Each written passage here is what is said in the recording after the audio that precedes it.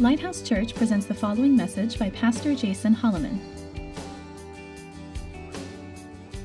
uh, let's do this. Let's, uh, if you want to uh, follow along, uh, before we get to the word, uh, we'll be in Psalm 70, 78. So if you have your Bibles, you can go ahead and turn to Psalm uh, 78. We'll also be kind of all over the place this morning, um, as hopefully we'll do something fun together, which is basically cover almost the whole Bible today.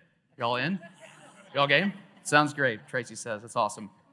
Um, one of the things that uh, that you may or may not notice about uh, life in like a modern world. I don't know if y'all know this.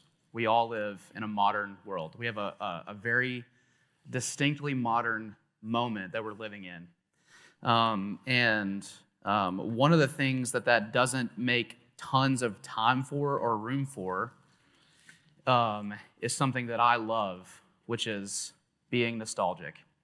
I, I cannot tell you, I may be the most nostalgic person that I've ever met. I mean, the amount of like, the amount of trinkets and things that I ascribe meaning to, I'm talking like instantly and then hold on to them forever. I mean, I have a whole like you know, box in this storage unit that I have. And if you ever send me or write me a letter or a note, like it's it's like basically God's word to me. Um, and so, um, what it what a modern world doesn't allow for is the time and the space to think back. Um, we don't look back very often. Uh, we usually are so consumed by and so concerned with the things that are right in front of us or the things that are uh, coming in the future for us. So we are very often looking around us in the current moment, or we are looking forward to something in the future. And what I want to say is that is good and right. Uh, we just sang about how we are waiting for the return of Jesus, and we are anticipating, like the, the, the final words of Scripture say, Maranatha, like, come, Lord. Like, we are waiting for you to, to make this right. Um, one of the things I want to point out, though, in that, and this is where we'll be today, is that if we're not careful, if we're only looking forward and we're only looking around us, we are so prone to forget and to not remember the things that have happened before us. And I, I, say that not only as someone who studied history for a very long time, I have a history degree from the University of Memphis, and I spent a lot of money learning this fact that, that when you look back, like that is a deeply formative and deeply important thing that we do. As we look back to the past to in some sense anchor us for the present moment and then teach us about the future. And so what i thought we would do uh, today is see that pattern play itself out in in scripture. God actually commands that his people remember and set aside time and moments and seasons, festivals and parties and all kinds of things, specifically to do that one thing to look back in the past and to remember what the Lord had done for them in the past. And so, if you have a copy of God's Word, I hope that you do.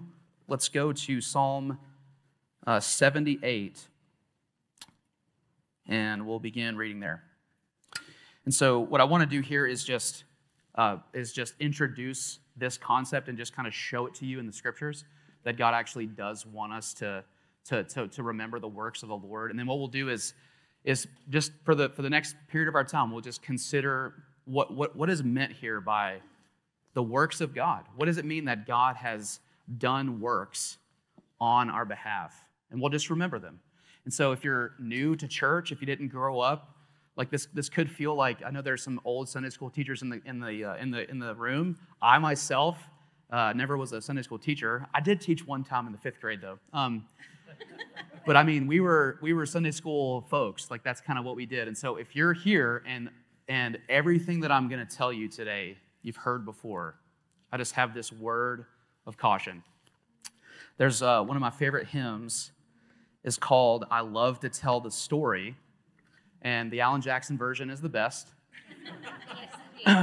And thank you. It is the best. That whole album, y'all. Let me just plug that whole album for a second. I think it's called like Church Songs or something, but anyway, it's really good. Um, there's a line in there that is, is, is going to capture exactly what I'm trying to say here, which is I love to tell the story for those who know it best seem hungering and thirsting to hear it like the rest. Seem hungering and thirsting to hear it like the rest. And what I'll submit to you, if you have heard about the stories of Abraham and the stories of Moses and the stories of David, and you're thinking, yeah, yeah, yeah, no, I know all that. I know all that. What I would submit to you is that you are in danger of just focusing on the present moment and not thinking about the past and thinking about the way that's the, the ways that the Lord has been faithful to his promises. And so um, that, that's, that's for you. That's kind of a, let, let, us lean in. Let's lean in together. And uh, I'm also not naive to the fact that, and there are some folks in here who just don't feel that, that versed in the story of Scripture. They don't feel that knowledgeable. They, they would say that, man, I don't really know enough. Like, I don't, I don't, I don't understand. There's so much that's happening in this story. It's kind of confusing. And I would say that, yes, like there are lots of moving parts of the story. But what I want to, what I want to walk us through today is what I would just say is uh, a, a, a deeply significant way to think about the whole Bible as it unfolds as a story. The whole Bible as it unfolds as a story. So let's read this Psalm 78, starting in verse 1. Give ear, O my people, to my teaching, and incline your ears to the words of my mouth. I will open my mouth in a parable and I will utter dark sayings of old, things that we have heard and things that we have known, that our fathers have told us. We will not hide them from their children, but tell the coming generation the glorious deeds of the Lord and his might and the wonders that he has done. For he established a testimony in Jacob, and he appointed a law in Israel, which he commanded our fathers to teach their children that the next generation might know them, the children yet unborn, and arise and tell them to their children, so that they should set their hope in God and not forget the works of God, but keep his commandments, that they should be like their fathers, that they should not be like their fathers, a stubborn and rebellious generation, a generation whose heart was not steadfast and whose spirit was not faithful to God. So, would y'all mind? Let's just pray together. Let's ask the Lord to bless His word.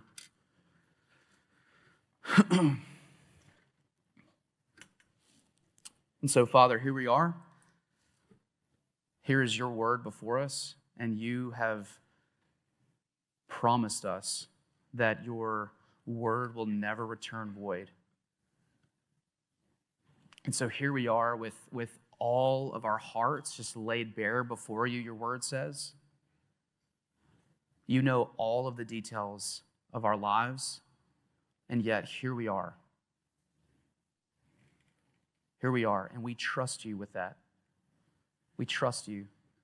We ask that your spirit would take these words and that he would, he would put them on our hearts and that those hearts would burn and that they would they would they would be on fire and like lit lit ablaze for the person of Jesus. He is uh, the answer to all of our needs. He is the fulfillment of all of your promises. He is our deepest joy, and we just ask that you would show him to us this morning. That's what we need. We pray these things in his name. Amen. Amen. Okay, so here we see it. We see that God is commanding his people to tell the coming generation the glorious deeds of the Lord. Why? So they don't forget them. So they don't forget them. I mean, I don't know about you. I am so prone. Like, it's like I have amnesia sometimes with certain things. Forget, I mean, forget things that actually matter. I'm talking like things like I have lost the same set of truck keys 10,000 times. We're, I am one of the most forgetful people when it comes to things like that. We're so forgetful as people. We are so forgetful as people. And what I want to what I want to see, what I want what I want us to kind of lean into is that this is a feature of what it means to be in a fallen world with fallen hearts that need to be redeemed. All through scripture, you see this pattern emerge where God's people are delivered out of some evil thing or they themselves have rebelled against the Lord. God comes in as the Redeemer, He saves them, And then the very next story, the very next passage, the very next iteration, the very next scene of the story, they've forgotten. They've forgotten, and we're back in the same place. So if you, like me, are already kind of um, wondering, like, why I'm even talking about any of this stuff, I would just encourage you to say, it's because we forget, we're forgetful. It's because we're forgetful. And, and y'all, like, we are forgetful and also actively prone to not look back on the past and to think about the ways that the, that the Lord has been faithful in his, in his, uh, to his promises and to his people. so, what I thought we would do is, is, is just walk through the works of God. What does it mean to, to think about the works of God? Um, and I would submit that it's this. I would submit that it's this. The story of the whole Bible is that God will save his people. The story of the whole scripture is that God will save his people. That could be like, um, it's kind of like imagine, um, imagine that you see far away, you see that there is like this white box. You see it probably 100 feet away. And then you walk closer to this box, and then you realize, oh my gosh, is that a that's that's a book? Okay, so now I see it was a white box, and now the closer that I get, it's like it's like a book. And then you get closer and closer, and then all of a sudden you're reading this this story. This is like that. So the the the the the, the thirty thousand foot view is that what God is doing from the very beginning until the very end of this book, of these stories, these collection of narratives, is He is saving His people. He's saving His people.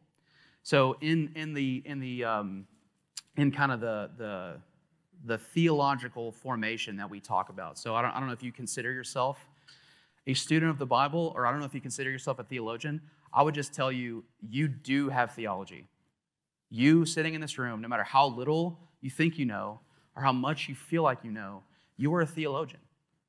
You have thoughts about God and an experience with the world that God has made. And there's a, uh, one of my favorite quotes. Uh, it's by A.W. Tozer, who says, What comes to your mind when you think about God is the most important thing about you. What comes to your mind when you think about who God is, that, that, that, that thought, those sets of realities for you, they're the most important thing about you. And yet, for so many of us, myself included, those thoughts, those realities affect so little of my actual life. So little sometimes. In other countries, um, in other religions, actually, this is actually uh, uh, very predominant in Islam. I was able to spend some months in Istanbul, Turkey when I was in college. It was one of the most powerful um, experiences I've ever had. It was awesome. I'd love to tell you all about it. I do love stories, uh, especially ones that have to do with Turkey. So, what I learned is, is in a Muslim culture, you, you, you, when you meet someone new, the first thing that you do is tell them the most important thing about you. The first thing you say to someone, you don't make casual conversations with people that you meet for the first time you tell them the most important things about who you are, which is why the greeting in Islam, the greeting in Arabic, has a built in that God is great. You see that? Like built into their language, even, is, is we're going to communicate about the things that matter to us the most. And so, what comes to your mind when you think about God, it's the most important thing about who you are. I would submit to you that that is true. I don't know whether in your experience you think that it's true, or you feel like it's true, or that you live as if it's true, but I would just tell you it is true. It is true. And it's tricky because there's another theologian that I love who will remain nameless, just because it's not worth naming. It's kind of one of those deals, who says this He says that you cannot have a knowledge of God. Follow me here. You cannot have a knowledge of God without a knowledge of self. You cannot have a knowledge of God with a knowledge of self. And, and here's what he doesn't mean. Because we, we in our today, in our modern kind of world, are set up not just to think about the present and the future. We are we're consumed by self. We're consumed by self. We're consumed with, with a knowledge of self. So much of our, of our world says what you ought to do, the reason that you're here, the purpose for your life is to look inside of your heart and find whatever desires are there and then express those desires. Do you follow that? You see that play out in a thousand different ways. The goal or the point of life, what it means to flourish according to a modern world, is to find out whatever is in here. What, what, what, what am I like? What is my identity? Like, what am I finding my identity in? I'm going to look into myself and I'm going to find those desires and I'm going to express those. And expressing those desires is the most important thing that I can be doing. This guy is not saying that. We, we would say, Christians would say that that is a non gospel, that is a false gospel. We're not looking into our own hearts to find desires that we should express, although they are there. But when they're there, when we're born, we're born into a fallen world and we're born with deceived hearts. And those desires must be redeemed and must be, uh, must be transformed into the image of Christ. And so he's not saying a knowledge of self that leads to, uh, to, to uh, what am I trying to say? To just self fulfillment or, or something like that. Instead, what he's saying is we must see that the knowledge of who God is is contrasted, contrasted with who we are as creatures. He's saying that we are creatures and we cannot know God unless we know that He is our creator. We cannot know God unless we know that we are not God. And so there, there's a humility that's built into that. There's an acknowledgement that, man, if I'm going to know you, God, if I'm going to know and experience you, if I'm going to enjoy life with you, if I'm going to live into the world that you've made, I must acknowledge that you have the authority to say and to tell me what life is like, what truth is.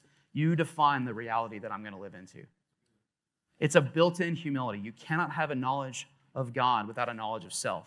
He also says this that you can't actually know yourself unless you know God. You cannot know yourself unless you know God. You in this room have been created by God for Him. You've been made from Him and through Him and to Him, are all things, the Word says.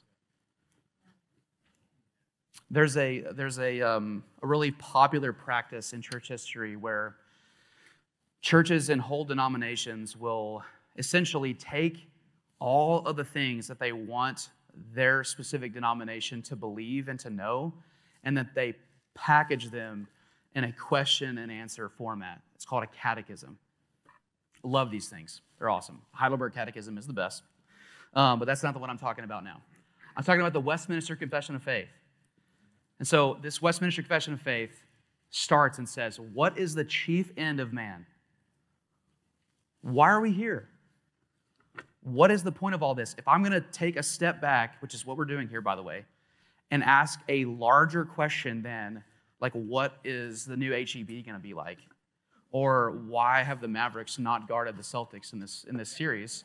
Or, like, is there any hope for the Cowboys? Or what, like, whatever, like any question that you could ask about modern life. And there are other questions, like, that are more significant in the Dallas sports culture. Like, man, have we lost our minds? Like, where, where are we going? What, what is culture doing? Like, we, we, we can't just, you know, there's all kinds of things you can fill in the blank there with. What is happening? And what I'm asking us to do is to slow down and to zoom out and ask, man, what is the chief end of man? Regardless of all the circumstances, regardless of the fallenness, the Westminster Confession of Faith comes in and says, the chief end of man, the main thing the chief article is that we would know and glorify God and that we would enjoy Him. That we would enjoy and glorify God forever. So you cannot have a knowledge of God without a knowledge of self. That is why you're here. That is why you're here. And the, the good news is that, that, that this is back to the conversation about the story of Scripture. The good news here is that like this is not just me making this up we're actually we can actually observe this um, in the scriptures in the scriptures and so um, if you have your bibles uh, we're going to go through uh, four or five different things um, that have to do just with the story of Scripture, because because there's there's uh, there, there there's there's sort of two primary ways that theologians talk about theology. Okay, one of those ways is this: you ask the question, "What is God like? What like what's the character of God?" And the one way is to basically take all of the passages that talk about God and to kind of crunch them together and to put them into a system where you can kind of see at a glance, you see this is what the Bible says about who God is. This is what the Bible teaches about sin. This is what the Bible teaches about sanctification or any topic that you can think of. You see every relevant passage all at once, and this is called systematic theology, which is kind of a, uh, an intimidating term. i I totally understand that, but that's all that we're doing. Is just saying, like, here are all the relevant passages, and this is what the Bible teaches about, you know, money or about, you know, culture or whatever. There is another way to, to, to think about theology, and that's what we want to talk about today, which is the, the, the it's called biblical theology. So you have systematic over here, which is trying to kind of see the, the, the see the, the, the, the, whole teaching on a particular topic uh, and put, put it all together into this kind of exhaustive teaching on topics. Then you have over here biblical theology, which is awesome. And this is essentially what it is the Bible's a story.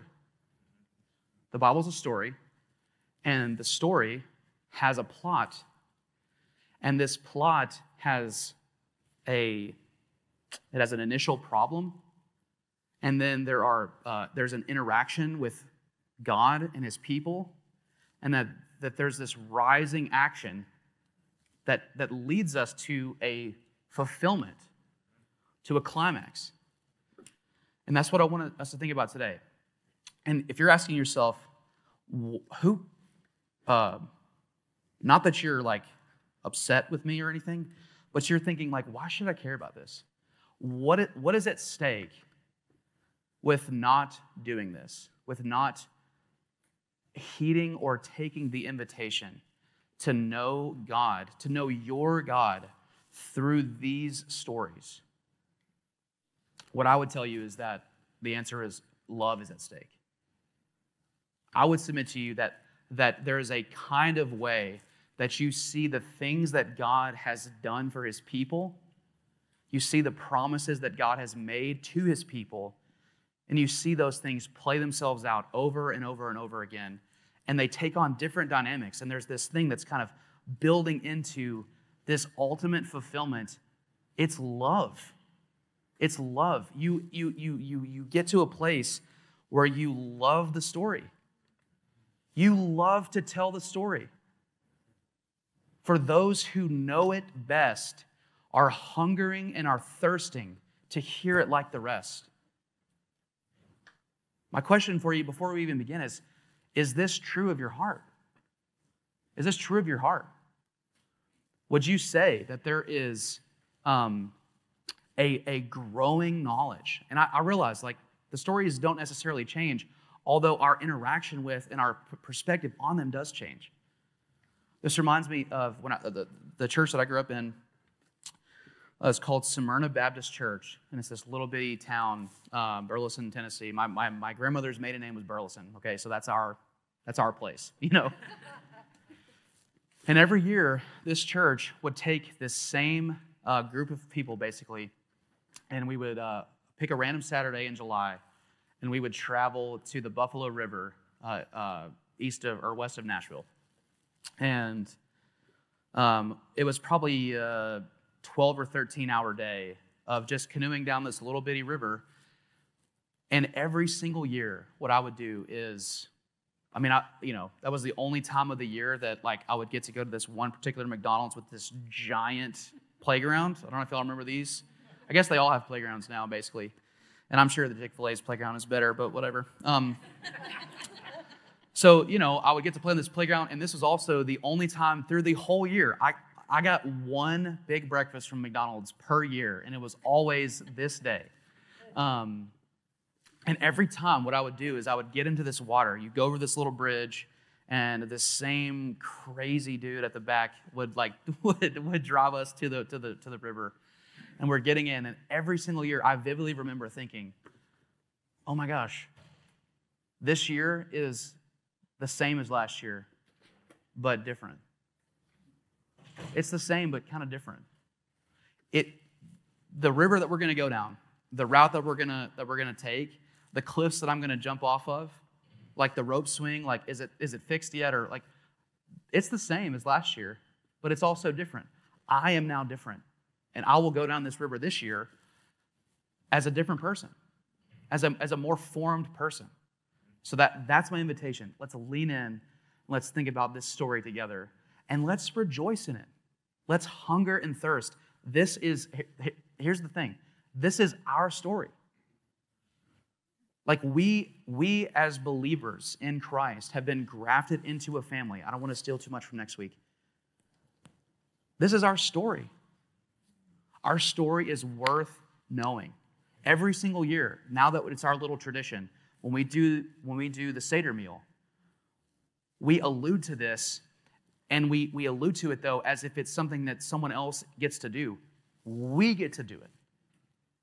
We get to remember the stories of God's faithfulness. So let's do that.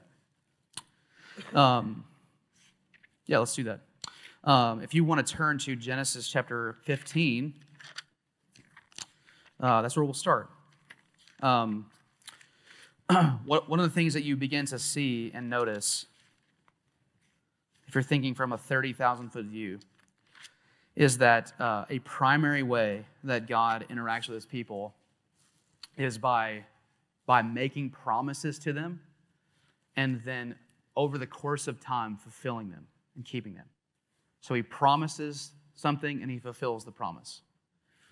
And so that's what we'll look at.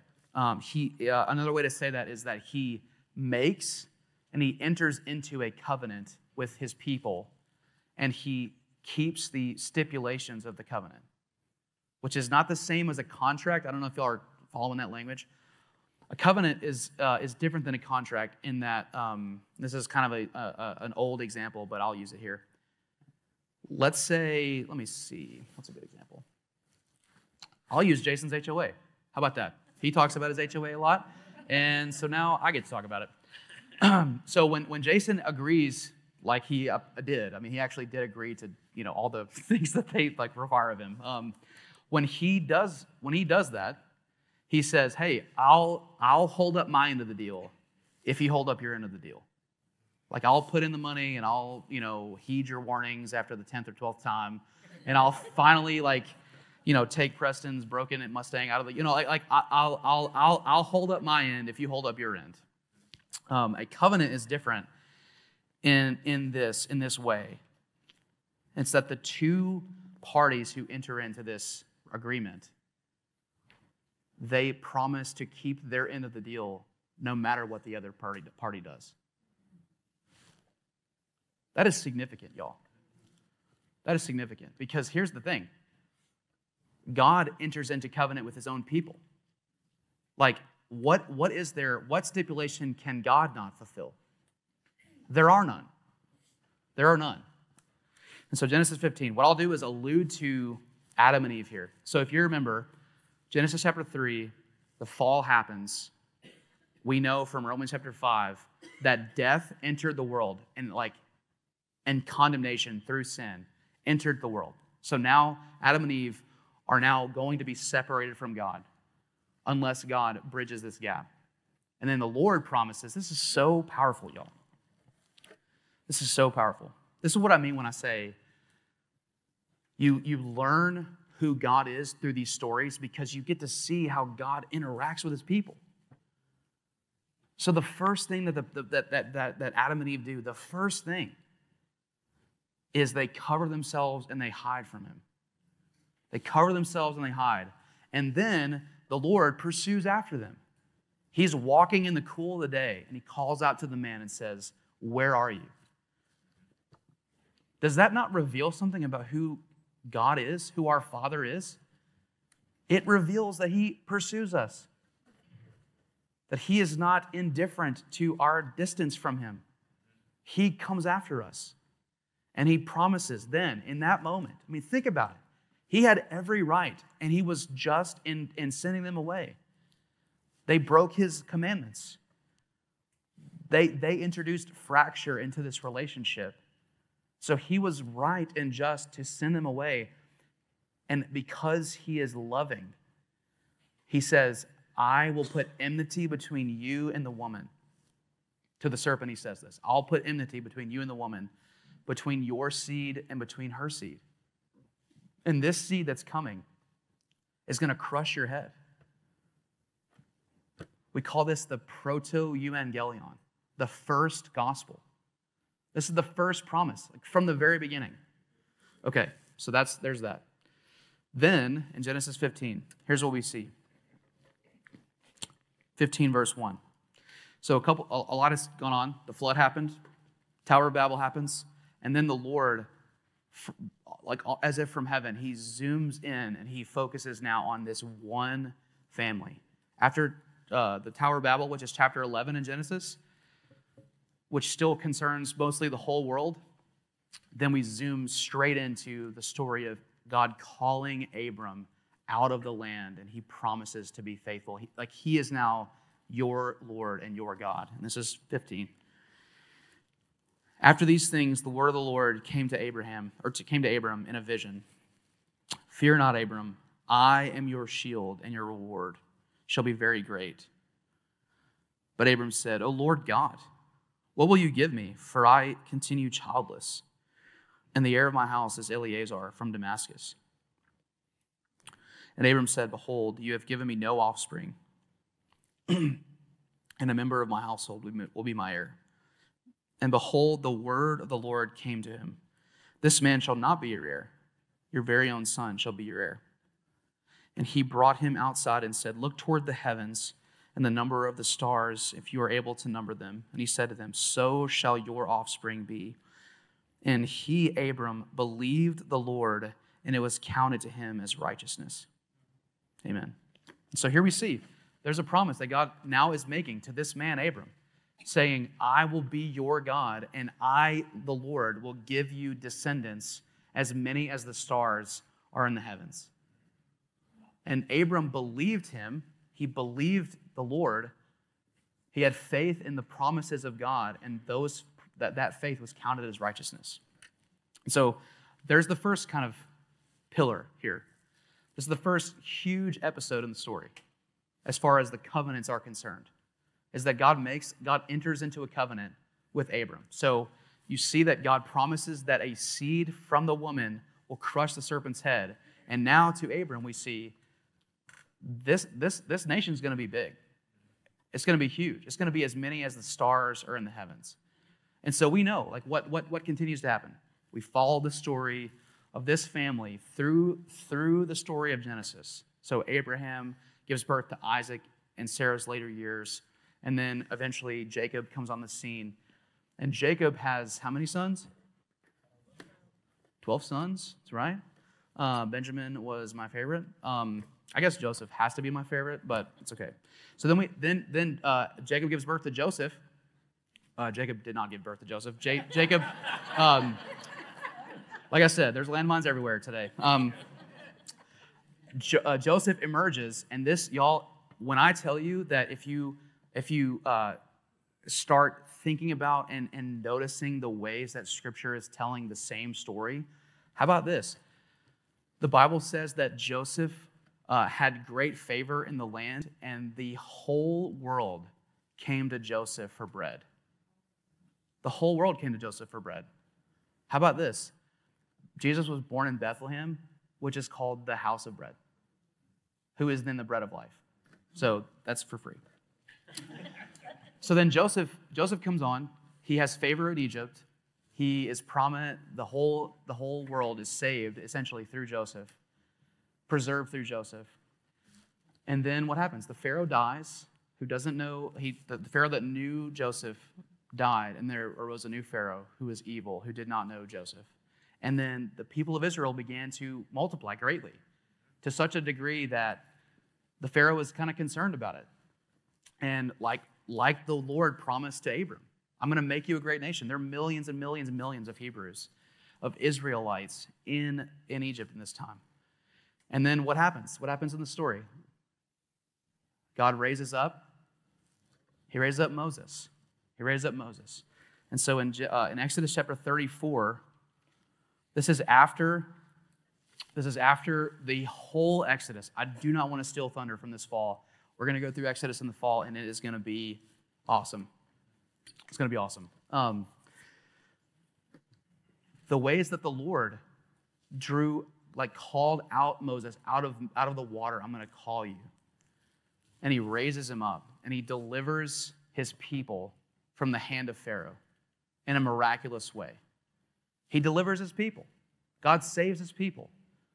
To, to, to the woman, I'm going to I'm to preserve your seed, and that seed is going to crush the serpent's head. And then to Abram, I'm going to give you descendants, and those descendants are going to be more than the stars in the heavens because of your faith. And then those descendants, they did, they did multiply. And now they're in Pharaoh, and they're enslaved in, into slavery under Pharaoh in Egypt. And the Lord delivers them from this slavery through a miraculous feature. He brings them through the Red Sea. And then the story continues. And what happens? They do, they go into the land. They go into the promised land. If you were an Israelite living in the land of Canaan, what would you be thinking? God has kept all of his promises. This is shalom. This is what, this is what the Lord promised. Would, would, would you not be thinking that? You are defeating all the Canaanites, all the different versions of the ites that have these crazy endings. You're, you're doing, you're, you're, you're believing that the fulfillment of these promises that God has made to you, this is them. This is, this is their fulfillment. And yet what happens? Apparently they weren't the fulfillment.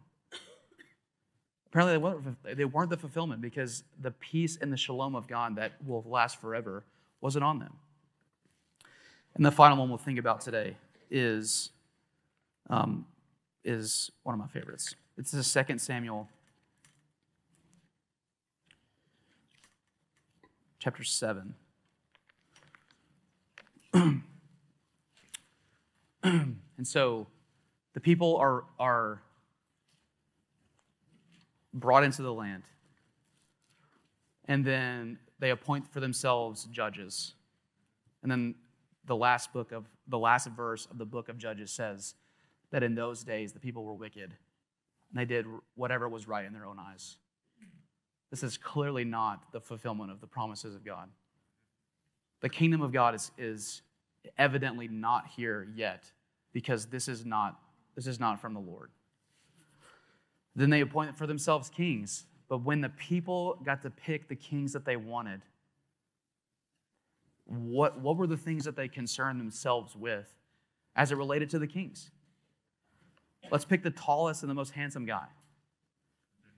Let, let's, look at, let's look at external realities and assume that that means that we'll be prominent in the land, that he'll have the integrity. And yet we know that we know this. This is verse 8 in chapter 7.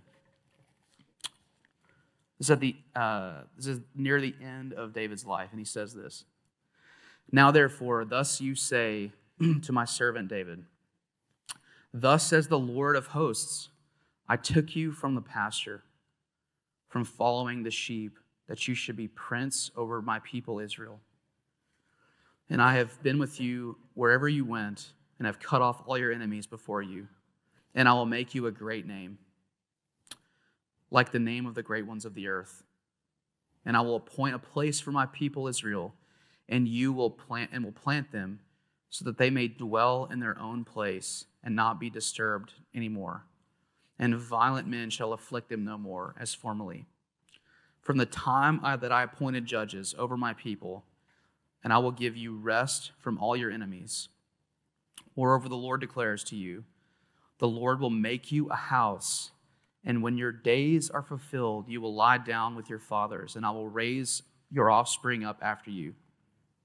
You shall come from your body, and I will establish his kingdom. He will establish a house for my name, and I will establish his throne. Of the, uh, I will establish the throne of his kingdom forever. I will be to him a father, and he shall be to me a son. When he commits iniquity, I will discipline him with the rod of men, with the stripes of the sons of men. But my steadfast love will not depart from him, as I took it from Saul, whom I put away before you. And your house and your kingdom shall be sure forever before me. Your throne will be established forever. In accordance with all these words, and in accordance with this vision, Nathan spoke to David. And so here we see what is known as the, the covenant with David, the Davidic covenant, where not only does the Lord promise to Eve that he's going he's going to crush the serpent's head, not only to Abraham does he promise land and descendants, not only to Moses does he promise that I will be with you and, and you will be my people and I will be your God, that I am the Lord, the Lord, who's abounding in steadfast love and mercy, but who will by no means acquit the guilty.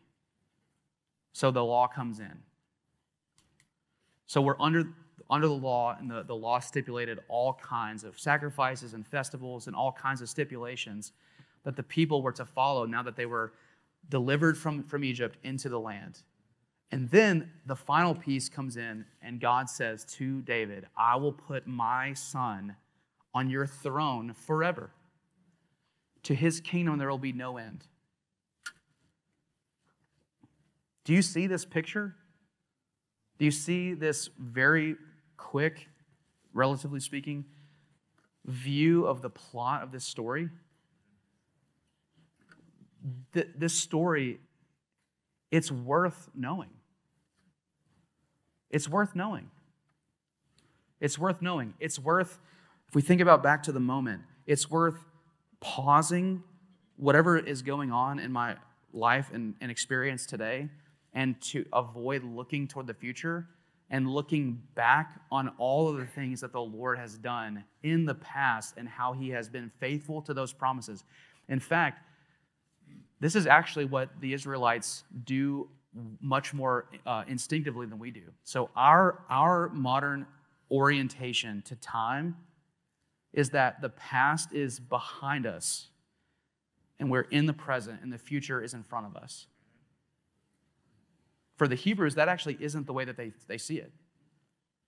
For them, the future is behind them, and the past is the thing that they are looking to. They are anchoring their, their, their present moment in the things that the Lord has done for them. Do you see this? Like, I will tell the works of the Lord, the glorious deeds of the Lord for he established a testimony in Jacob. That, that, that's the why here. Is that if we are not faithful to look back on the promises of God in the past, the things that he has promised, man, no wonder, no wonder we're confused and disoriented and, and uh, there, there's so many things that can just toss us to and fro. The New Testament anticipates this, this reality that we can be tossed to and fro from all kinds of different things that are going on in the world. And there's an invitation to be anchored, anchored in this story. There are promises of God that have been fulfilled. What I want to do is, is like, man, it, like it, it's it's it's um, it's kind of like this. Like, whenever we talk about how, man, the Lord, like the Lord loves you there's all kinds of things that we, we say and we interact with on a regular basis. And it's like we, we, we fail to, to appreciate the depth of the thing that's being communicated. Are you telling me God loves me? Like, I, I know me. I know myself. Man, I, I struggle to love me. Do, do you not resonate with this? Like, I, like, this is unbelievable. This is deeply significant. God loves you. How do you know God loves you? Because the glorious deeds of the Lord have been revealed from the beginning of time until now. He has proven himself over and over and over again. Stud, studied by them like that that it's it's an invitation it's an invitation to, to, to make yourself more intimate with the story of God. so here's how I would love to end this morning um, in two places. Uh, the beginning of the Gospel of Matthew and the beginning of the Gospel of Mark. And so, one of the reasons why I believe that the way that you see uh, the basic kind of skeleton, the backbone of the story of God, the story of Scripture, the story of what we call redemptive history or salvation history or the way that God keeps his promises to his people is because the New Testament kind of uh, emphasizes certain parts of the Old Testament more than others. You kind of hear things like Jesus is the Messiah. And then you look back and there's like particular uh, stories and images that, that kind of come up to your mind uh, when you think about the Messiah. It kind of, it, uh, the, the, the technical term is connotation. Like it, it connotates certain stories. and so the, the genealogy of Jesus, for most of us, we just kind of gloss through it. I mean, if we're honest, like I gloss straight through the, the genealogies. What I want you to see is, is the beginning of this passage is meant to, to, to say something very specific to a first century audience that would have known these stories, known these families, known these people, would have been able to trace the families and the stories to the promises of God. So that's the context for this first sentence. The book of the genealogy of Jesus Christ, the son of David and the son of Abraham.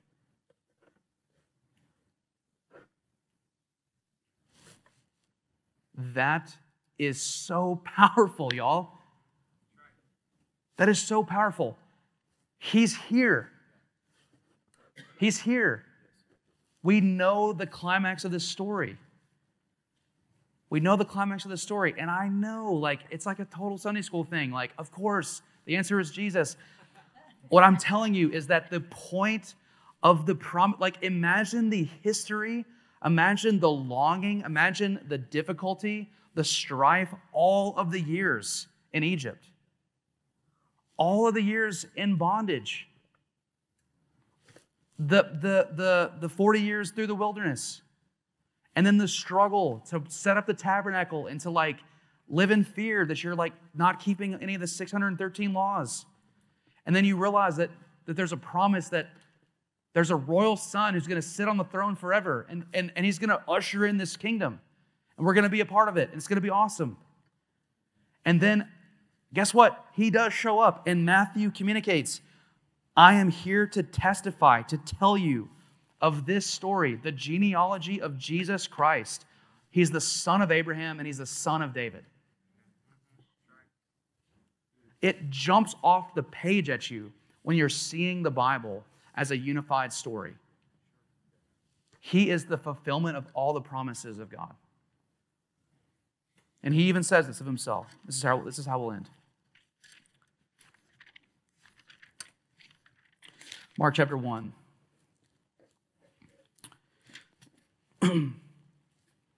Starting in verse, uh, in verse 14.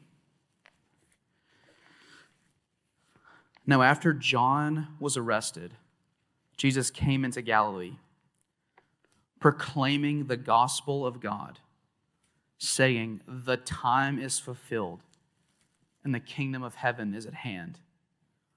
Repent and believe in the gospel repent and believe in the gospel. The time is fulfilled. The kingdom of heaven is at hand. Now repent and believe the gospel.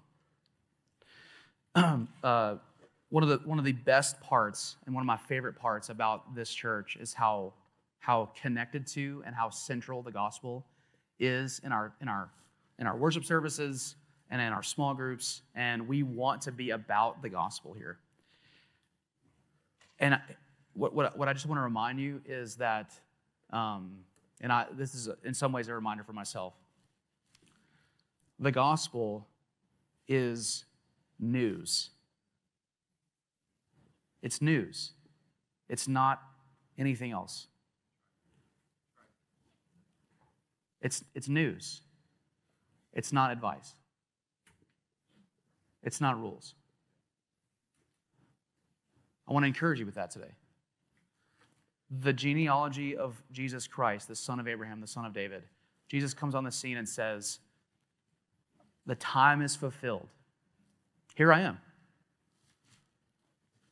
My Father, the Lord, the God of Israel, the God of Abraham, Isaac, and Jacob, the one who was in the garden with the, the, the first couple, who made the promises himself, who then was faithful by day and by night to the people of Israel through the wilderness, the one who promised to David, I will put my son on your throne forever. That time is now fulfilled. The kingdom of God is here. Repent and believe in the gospel repent and believe in the gospel. So here, here's how I'd love to turn our time to communion. Let's remember, saints, the story of Scripture. God will save his people. He will save his people. And that news is like the hymn says, where the more you hear it, the more you want to hear it. It never gets old. It never gets old. It does, you do change you do take a different path down the same river again. And I'm inviting you now to remember the story. God has saved his people. Repent and believe in the gospel. Believe it. Believe it. Live into it as if it's the true story of the world, which it is. So let's do that together. Let's pray.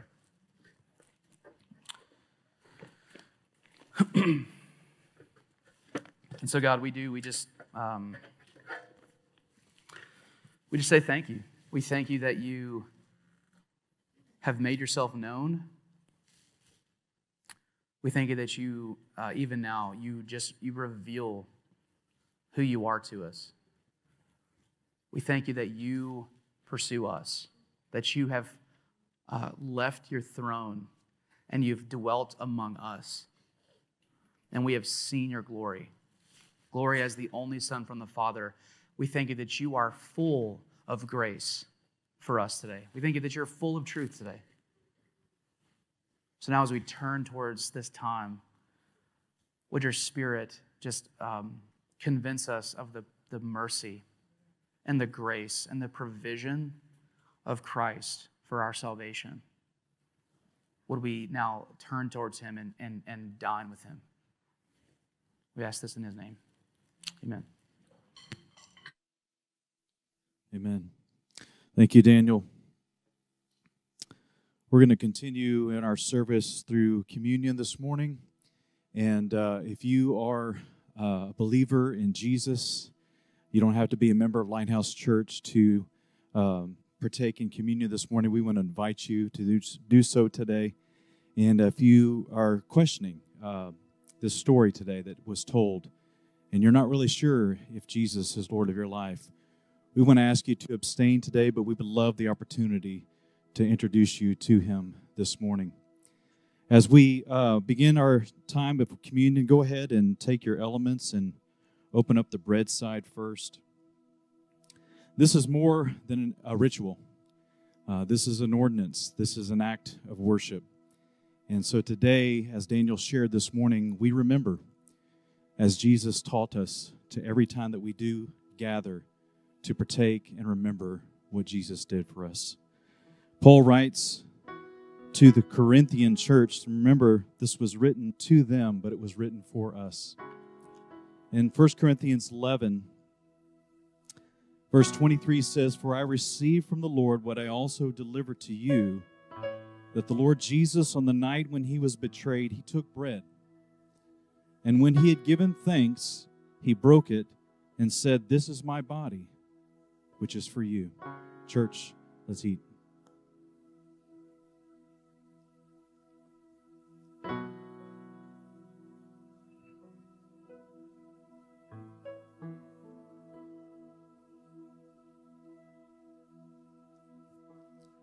In the same way, he also took the cup after supper, saying, This cup is the new covenant in my blood. Do this as often as you drink it in remembrance of me. Church, let's drink together.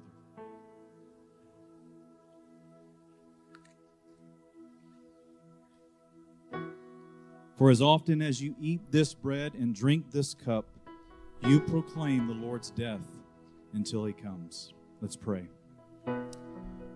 Father, we thank you again for this reminder that we have today. How we're welcome to the table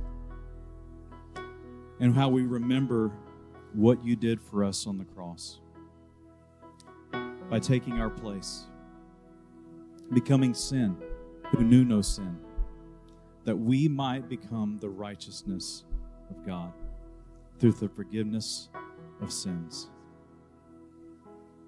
Your blood was poured out and shed for, the forgiveness of many sins. Past, present, future sins, all forgiven. God, we thank you for what you did through your Son, Jesus, that we can stand before you today and call you Father, that we are now sons and daughters of the Most High God. We give you praise, we give you glory in Jesus' name. And everyone said, Amen. Amen. We hope you've enjoyed today's message. For more information, visit our website at lighthousentx.com.